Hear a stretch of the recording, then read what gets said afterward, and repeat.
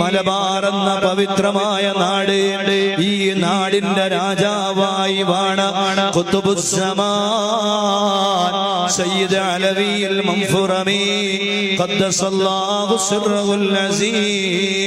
മുമ്പിൽ കോഴിയേ കൊതിച്ചാരെ മിണ്ടാത്ത മുഖനെ മിണ്ടിച്ച് സുബാനല്ലാ കോഴി കഴിക്കണമെന്ന് പുതിയായപ്പോ മുന്നിലതാ കോഴി വന്ന് നിൽക്കുകയാണ്. ആ കോഴിയെ ഭക്ഷിക്കുന്നു അതിനെ പൂർണ ജീവനോടെ തിരിച്ചയക്കുന്നു. അങ്ങനെ എത്രയെത്ര കറാമത്തുകളാണ് അനുഭവിച്ചവർ ധാരാളം ധാരാളം. ആ വലിയ മാനവറുകളുടെ മുബാറക്കാണ് ആണ്ട് നേർച്ചയാണ് നടക്കുന്നത്. അതാണ് അതാണ് സംഭവം. അസ്സാം വലൈക്കും പ്രിയമുള്ളവരെ. രണ്ടു ദിവസമായിട്ട് വീഡിയോ ഉണ്ടായിരുന്നില്ല എന്ന് മറ്റൊരു വീഡിയോയിൽ പറഞ്ഞിട്ടുണ്ടായിരുന്നു. അതിനി എന്താണെന്നുള്ളത് എക്സ്പ്ലെയിൻ ചെയ്യുന്നില്ല. എന്നാലും ഇതുപോലെയുള്ള വിവരക്കേടുകൾ കാണുമ്പോൾ അതിനെക്കുറിച്ച് പറയാതെ പോകാൻ കഴിയില്ല. അതുകൊണ്ട് തന്നെയാണ് മായാവി കഥകളല്ലാതെ ഇവർക്കൊന്നും പറയാനില്ല.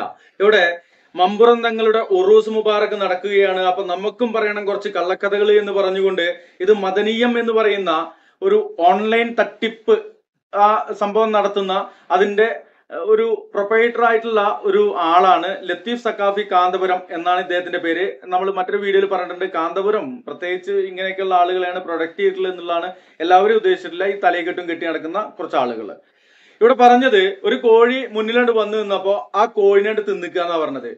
ഒരു കോഴി മുന്നിൽ വന്നപ്പോ ആരുടെ കോഴിയാന്ന് ചോദിക്കണ്ടേ? ഇനി കാട്ടുകോഴിയാണെങ്കിൽ ആ കാട്ടുകോഴിക്ക് എന്ത് സംക്രാന്തി എന്ന് പറഞ്ഞ പോലെ ഇവർക്ക് എന്ത് സംക്രാന്തി? അതിനെ അതിനെ പിടിച്ച് തിന്നിക്കുകയാണ് അപ്പൊ ഇതെന്താണ്? പൂച്ചേ. ഏ? അല്ല പൂച്ചകളൊക്കെ അങ്ങനെ തിന്നലുണ്ട്. ചെറിയ കോഴിക്കൂട്ടിനെ കിട്ടിക്കഴിഞ്ഞാൽ അത് കൊണ്ടുപോയിട്ട് തിന്നലുണ്ട്. അതുപോലെ തിന്നുക. ഇത് അറുക്കും കറി വെക്കുക അല്ലെങ്കിൽ പൊരിക്കുക ചൂടിയതൊന്നും വേണ്ട മൂല്യരെ. ഓക്കെ എന്തായാലും വേണ്ടാണ്ട് തിന്നിക്കുകയാണെന്ന് പറഞ്ഞത് തിന്നു എന്ന് മാത്രമല്ല തിന്നീനെ പിന്നെ പറപ്പിച്ചിട്ടു പിന്നെ എന്തിനാ തിന്നാൻ നിന്ന്? ഇല്ലേ? വല്ല ചോറോ വല്ല സംബന്ധിയോ കൂട്ടിയിട്ട് ചോറുന്നാ പോരെ? ജീവനുള്ള ഒരു കോയിനെ അങ്ങോട്ട് തിന്നിട്ട് പിന്നെ അതിനോട് പറപ്പിച്ചു വിട്ടു അത് കറാമത്താണെന്നാ പറഞ്ഞത് എന്ത് കറാമത്ത്? ഒരു സാധനം തിന്നാ പിന്നീട് പറപ്പിച്ചു വിടുക ഞങ്ങളൊക്കെ തിന്നു കഴിഞ്ഞാൽ പിന്നെ അത് പിറ്റേ ദിവസം ടോയ്ലറ്റിൽ കൊണ്ടുപോയിട്ട് അപ്പിട്ട് കളയുക. അല്ലാണ്ട് പിന്നെ പറപ്പിച്ചു വിടാൻ കഴിയില്ല. തിന്നാതിരിക്കുക. അപ്പോ ഇവിടെയുള്ള ഒരു കാര്യമുള്ളത് ഒരു ജീവനുള്ള സാധനത്തിനായിട്ട് തിന്നു എന്നിട്ട് അതിനോട് പറപ്പിച്ചു വിട്ടു. അതിന് ഒരു പാരടിയും പാടിയിട്ടുണ്ട്. പാരഡിയാണ് അതിന്റെ മറ്റു യഥാർത്ഥ വേർഷൻ എന്താന്ന് വെച്ച് കഴിഞ്ഞാൽ കോഴിയുടെ മുള്ളോടെ കൂവന്ന് ചൊന്നാരേ കുശാതെ കൂകി പാറപ്പിച്ചു വിട്ടോവര് എന്ന് ഓവറാക്കി പാടിയ പാട്ടിന് പാരഡി ഉണ്ടാക്കിക്കാണ് മമ്പറം തങ്ങളുടെ പേരിൽ പച്ച നുണ ആ മമ്പറം തങ്ങൾ ഒരു കോയിനെ അറുത്ത് തിന്നു കുണിച്ചെങ്കിൽ അത് പറപ്പിച്ചു വിടൂല. അങ്ങനെയൊന്ന് അദ്ദേഹത്തിന്റെ ജീവചരിത്രത്തിൽ എവിടെയും കേട്ടിട്ടില്ല. പിന്നെ ഉറൂസ് മുബാറക്ക് എന്നും പറഞ്ഞിട്ട് ഒരു സംഭവം ഉണ്ടാക്കിയിട്ട് അതിൽ പോയിട്ട് എന്തെങ്കിലും നുണ പറയണ്ടെന്നും പറഞ്ഞിട്ട് എന്തെങ്കിലും നുണ പറഞ്ഞുകൊണ്ടിരിക്കണം നിങ്ങളവിടൊക്കെ എന്ത് പറയാനാണ് മൂല്യരെ ഏ? എന്ത് മദനീയാണ് നിങ്ങൾ നിങ്ങൾ മദനീയല്ല മതമിളകീയമാണ് എന്നുള്ളത് പറയാതിരിക്കാൻ കഴിയില്ല. ഏതായാലും നമ്മൾ വീഡിയോകൾ നിർത്തിയിട്ടൊന്നുമില്ല. അതുപോലെ തന്നെ ഉരുൾപൊട്ടലിൽ പെട്ട് മണ്ണിനടിയിലുമല്ല. അങ്ങനെയൊക്കെയുള്ള മെസ്സേജുകൾ വന്നു. അപ്പൊ അതും അല്ല എന്നുള്ളത് അറിയിക്കുന്നു. ഏതായാലും ചെറിയൊരു വീഡിയോ ഇതിന്റെ ബാക്കിൽ ചേർക്കുന്നുണ്ട്. കാണുക മനസ്സിലാക്കുക. അള്ളാഹു അനുഗ്രഹിക്കട്ടെ. അസ്സാം വലൈക്കും വറഹമത്തുള്ള വിശ്വാസം നാല് കാര്യങ്ങളിൽ വിശ്വസിക്കലാണ്. ഒന്നാമത്തെ കാര്യം അള്ളാഹു സുബാനഹു അവൻ പരിപൂർണമായ ഇൽമുള്ളവനാണ്. എല്ലാം അറിയുന്നവനാണ് എന്ന് വിശ്വസിക്കല അവൻ അറിയാത്തൊന്നില്ല സൂക്ഷ്മമായതും പ്രകടമായതും അള്ളാഹുവിനറിയാം. അദൃശ്യമായതും ദൃശ്യമായതും അവനറിയാം. അവൻ അറിയാത്തതൊന്നുമില്ല കഴിഞ്ഞുപോയത് അവനറിയാം. നടന്നുകൊണ്ടിരിക്കുന്നത് അവനറിയാം. അതുപോലെ വരാനിരിക്കുന്ന കാര്യം അവനറിയാം. അവർക്ക് ഇനി വരാനിരിക്കുന്ന കാര്യങ്ങൾ അവനറിയാം. കഴിഞ്ഞു പോയത് അവനറിയാം. നിങ്ങൾ ചിന്തിക്കുക ഒരാൾ അള്ളാഹുൽ വിശ്വസിച്ചാൽ നമുക്ക് ഖദറിൽ വിശ്വസിക്കാതെ പറ്റില്ല. അല്ല ഉണ്ട് എന്ന് ഒരാൾ പറഞ്ഞാൽ നമുക്ക് ഖദറിൽ വിശ്വസിക്കണം. എന്നതാ ഈ കാണുന്ന പ്രപഞ്ചത്തെ സൃഷ്ടിച്ചവൻ അവൻ എന്തായാലും എല്ലാം അറിയുന്നവനാണ്. അവൻ എല്ലാം അറിയാത്തവനാകാൻ ഒരു വഴിയുമില്ല. ഈ കാണുന്ന പ്രപഞ്ചത്തെ സൃഷ്ടിച്ച റബ്ബി എല്ലാം അറിഞ്ഞവനായിരിക്കണം. അവൻ ഒരിക്കലും ജഹൽ അറിവില്ലായ്മ എന്ന അവസ്ഥ ഉണ്ടാകുക എന്നത് ഒരിക്കലും അനുയോജ്യമല്ല. അതൊരിക്കലും സാധിക്കില്ല അത് ബുദ്ധിക്ക് ചോദിച്ചതല്ല അവനെല്ലാം അറിയുന്നവനാണ്. എല്ലാം അറിയുന്നവനാണ്.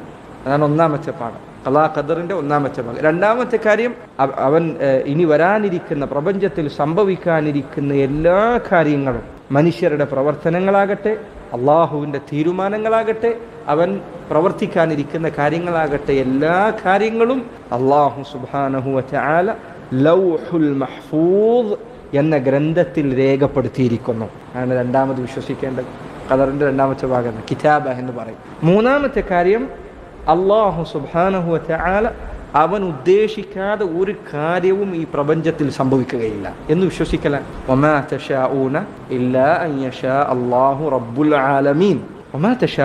നിങ്ങൾക്ക് ഉദ്ദേശിക്കാൻ കഴിയുകയില്ല. നിങ്ങൾക്കൊരു കാര്യം തീരുമാനിക്കാൻ സാധിക്കുകയില്ല. അള്ളാഹു ഉദ്ദേശിക്കാതെ. അള്ളാഹു ഉദ്ദേശിച്ചാലല്ലാതെ നിങ്ങൾ ഉദ്ദേശിക്കുക പോലും ചെയ്യില്ല. അള്ളാഹുവിന്റെ ഉദ്ദേശമില്ലാതെ വല ഹബ്ബത്തിൻ ഫി ദുലുമാത്തിൽ അർദി വല റത്ബിൻ വല യാബിസിൻ ഇല്ല ഫി കിതാബി മുബീൻ ഒരു ഇല പോലും അവൻ അറിയാതെ വീഴുന്നില്ല. ഒരു ഉണങ്ങിയതോ നനഞ്ഞതോ ഒരു ധാന്യം ഒരു ഒരു ധാന്യമണി പോലും അവൻ വേദഗ്രന്ഥ അവൻ ഗ്രന്ഥത്തിൽ രേഖപ്പെടുത്താത്തതായില്ല. അള്ളാഹു അവന്റെ ഉദ്ദേശത്തിൽ വിശ്വസിക്കുക നാലാമത്തെ കാര്യം അള്ളാഹുവിന്റെ ഹൽക്ക് അവനാണ് സർവതിനെയും സൃഷ്ടിച്ചത് എന്ന് വിശ്വസിക്കുക. അവനാണ് നിന്റെ പ്രവർത്തനത്തെ സൃഷ്ടിച്ചത് നിന്നെ സൃഷ്ടിച്ചത് എല്ലാം സൃഷ്ടിച്ചത് അവനാണ്. ഖാലിഖു കുല്ലി ഷൈ എല്ലാത്തിനെയും പഠിച്ചതാണ്. ചില ആളുകൾ കദരിയാക്കൾ അള്ളാഹുവിന്റെ കദറിനെ നിഷേധിച്ചവർ പറഞ്ഞു എല്ലാത്തിനെയും അള്ളാഹു പഠിച്ചതാണ്. പക്ഷേ മനുഷ്യന്റെ പ്രവർത്തനത്തെ മനുഷ്യനാണ് സൃഷ്ടിച്ചത്. ഗുരുതരമായ വാദമാണത്. അള്ളാഹുവാണ് എല്ലാത്തിനെയും സൃഷ്ടിച്ചത്. ചില ആളുകൾ രണ്ട് നസീഹത്തുകൾ ഞാനിവിടെ പറയട്ടെ. ഒന്നാമത്തെ കാര്യം അൽ ഇമാം അസ്ബഹാൻ റഹിമഹുല്ല അദ്ദേഹം പറഞ്ഞതുപോലെ ഖദർ എന്നത് അത് അള്ളാഹു സുബാനഹു വച്ചാൽ അവൻ രഹസ്യമാക്കി വെച്ച അള്ളാഹുവിന്റെ സിറുകളിൽപ്പെട്ടതാണ് രഹസ്യത്തിൽപ്പെട്ടതാണ്. സൂര്യനെ നോക്കുന്നത് പോലെയാണ് ഖദറിന്റെ കാര്യം. അതിലേക്ക് നീ എത്രമാത്രം തറപ്പിച്ചു നോക്കുന്നോ അത്രയും നിന്റെ കണ്ണുകേട് വരും. ഖദർ അത് അള്ളാഹു പറഞ്ഞു വിശ്വസിക്കുക. ഇതെങ്ങനെയാണ്? കെയ്ഫ് എങ്ങനെ സംഭവിക്കുന്നു? അത് അള്ളാഹു നിനക്ക് മറച്ചു വെച്ച കാര്യമാണ്. നിനക്കത് മനസ്സിലാക്കാൻ സാധിക്കില്ല. നീ ശ്രമിച്ചാലും നിനക്ക് സാധിക്കില്ല. നിന്റെ ബുദ്ധിയുടെ കഴിവിൽപ്പെട്ടതല്ല പെട്ടതല്ല നിനക്ക് മനസ്സിലാക്കാൻ കഴിയുന്നതാണ് ദുനിയാവിലെല്ലാ കാര്യം? ഇല്ല. ദുനിയാവിൽ നടക്കുന്ന എല്ലാ കാര്യവും നമുക്ക് മനസ്സിലാവുന്നില്ല. ഇത് അള്ളാഹു സുബാനു ചാലയുടെ അയിൽമാൻ അവന്റെ അറിവാണ്. അതിന്റെ ആഴവും വിശാലതയും ഉൾക്കൊള്ളാൻ കഴിയുക എന്നത് നിനക്ക് സാധിക്കുന്നതല്ല.